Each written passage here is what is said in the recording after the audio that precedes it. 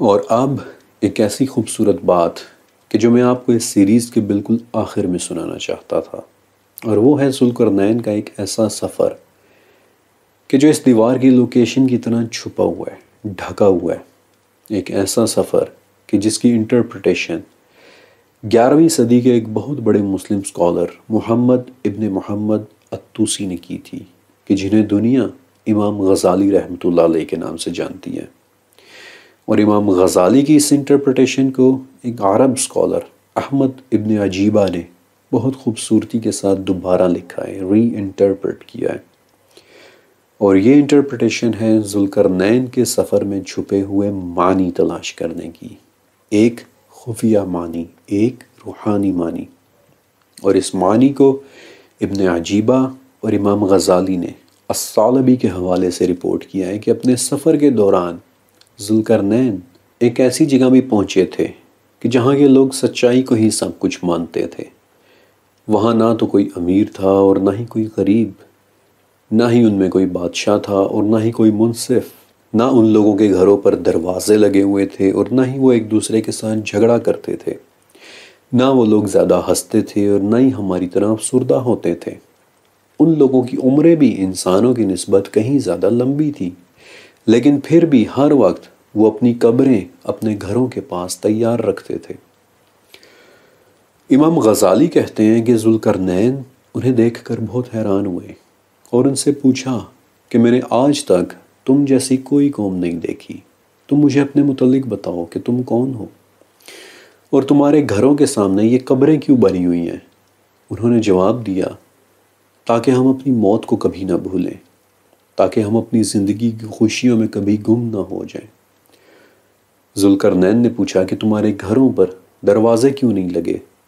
تو انہوں نے جواب دیا کہ ہمارے درمیان کوئی بدیانت شخص نہیں رہتا۔ یہاں سب ایک دوسرے پر بھروسہ کرتے ہیں۔ یہاں سب ایک دوسرے کا خیال رکھتے ہیں۔ ذوالقرنین نے پوچھا کہ تمہارے ہاں کوئی حاکم کیوں نہیں ہے؟ انہوں نے بتایا کہ ہمارے ہاں کسی قسم کی کوئی کشمکش نہیں ہے۔ ذوالقرنین نے پوچھا کہ تمہارے ہاں کوئی امیر کیوں نہیں ہے؟ انہوں نے کہا کہ ہمارے ہاں کوئی دولت کو جمع کر کے نہیں رکھتا۔ ذوالقرنین نے پوچھا کہ تمہارے ہاں کوئی بادشاہ کیوں نہیں ہے؟ انہوں نے جواب دیا کہ ہمارے ہاں کوئی کسی سے برتر نہیں ہے۔ ذوالقرنین نے پوچھا کہ تم لوگ آپس میں جھگڑتے کیوں نہیں؟ انہوں نے جواب دیا کہ ہمارے دل ایک دوسرے کے لیے مطمئن ہیں اور ہمارے تمام معاملات ایک دوسرے کے ساتھ طے پا چکے ہیں۔ ذوالقرنین نے پوچھا کہ تم سب ایک جیسی باتیں کیوں کرتے ہو؟ انہوں نے جواب دیا کہ ہم ایک دوسرے کے ساتھ جھوٹ نہیں بولتے اور نہ ہی ہم ایک دوسرے کے پیچھے کوئی چھپی ہوئی بات کہتے ہیں۔ ذوالقرنین نے پوچھا کہ تم سب کے دل ایک جیسے کیسے ہو گئے؟ انہوں نے جواب دیا کہ ہمارے دلوں میں سے ایک دوسرے کے لیے کینہ نکال دیا گیا ہے۔ ذوالقرنین نے پوچھا کہ تمہارے درمیان کوئی غریب کیوں نہیں ہے؟ انہوں نے جواب دیا کہ ہم نے اپنی دولت کو آپس میں برابر برابر ایک دوسرے کے ساتھ بانٹ لیا ہے۔ ذوالقرنین نے پوچھا کہ تمہارے درمیان سبھی مہمان نواز کیسے ہیں؟ انہوں نے جواب دیا کہ ہمارے دلوں کے اندر عجز اور انکساری کو ڈال دیا گیا ہے۔ ذوالقرنین نے پوچھا کہ تمہاری عمریں باقیوں کی نسبت اتنی لمبی کیوں ہیں؟